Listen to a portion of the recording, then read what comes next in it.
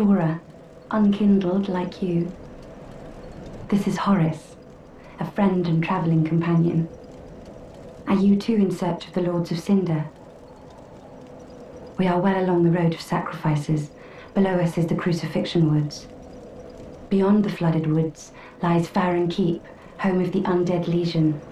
Further yet is the Cathedral of the Deep. We seek the cathedral, home of the grim Aldrich.